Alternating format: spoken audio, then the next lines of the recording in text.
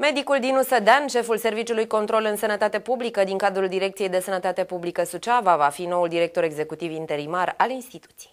Doctorul Dinu Sădean este al cincilea director interimar numit în acest an dintr-o serie care a început cu economista Silvia Boliacu, fost subprefect de Suceava, și a continuat cu medicul epidemiolog Manuela Trifan, detașată de la DSP Iași, medicul stomatolog Cătălin Graur, detașat de la DSP Vrancea și economista Firuța Bosancu din cadrul DSP Suceava. Aceasta din urmă a refuzat de la început numirea în funcție, exercitând-o doar o săptămână.